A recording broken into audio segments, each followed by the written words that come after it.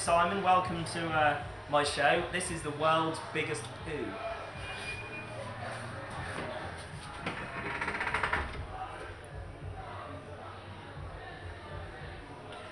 Well, can't see it. It does smell. I broke it. Oh, you can't see. You can't